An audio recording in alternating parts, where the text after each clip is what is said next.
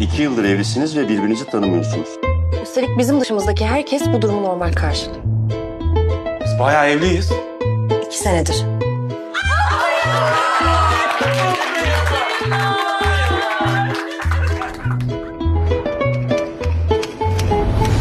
Pencere zamanı gelmedi mi?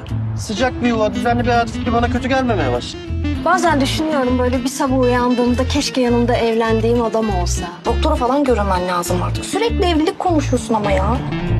Bak bu evlilik müessesesi dünyanın gelmiş geçmiş en ketum örgütü. Her verir sır vermez bunlar. Vallahi daha büyük bir kabus düşünemiyorum.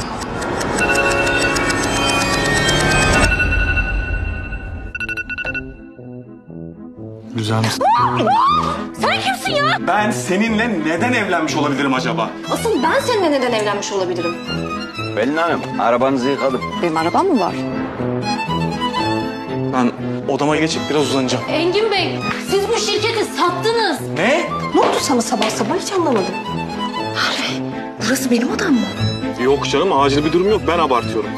Alt tarafı hayatım alt üst olmuş. Taş mı düştü kafama? Büyü falan mı yaptırdın? Ne yapıyorsun ya? Sendeki rahatlık da şalvarda yok. Beni ancak rüyanda görürsün. Asıl sen beni rüyanda görürsün. Alın size ancak rüyalarda görülen bir fırsat. Birbirinize yeniden aşık olun. El ele tutuşun, romantik bir yemek yiyin, tatile çıkın, ne bileyim, keşfedin, şaşırtın birbirinizi.